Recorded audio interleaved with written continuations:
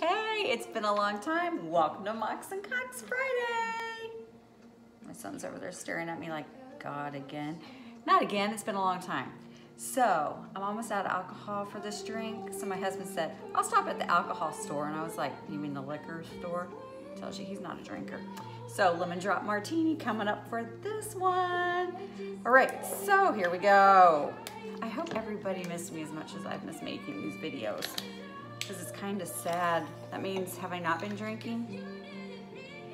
I've been drinking, just haven't made any videos.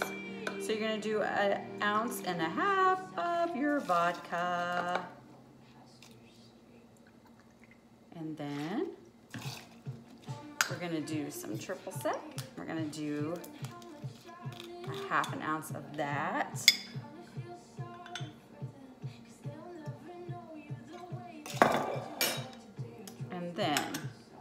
Fourths of an ounce of lemon juice. I squeezed all that myself earlier so I could get prepared so you guys wouldn't be so bored. Oh, I missed this part. All right, and I already sugared my rum. Yeah, I'm gonna add all the damn calories tonight. Look at that glorious drink. I should have probably added more alcohol. Don't worry, I'll have one, two, maybe three. And Jessica, I love my and Cox shaker. It's so much better than hurting my wrist. Hope you guys didn't miss that tonight because you're not gonna get it tonight.